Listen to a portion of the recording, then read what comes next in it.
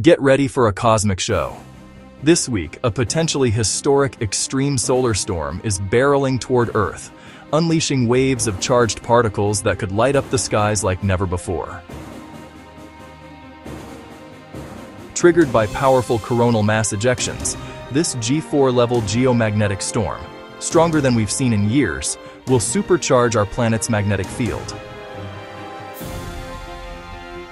The result? Magnificent northern lights exploding in brilliant greens, purples, and reds, visible as far south as the northern US and Europe. Imagine stepping outside to a sky alive with ethereal curtains of light. It's nature's ultimate light show. Heads up, power grids might flicker, but the spectacle will be worth it. Tune in tonight and witness this rare event.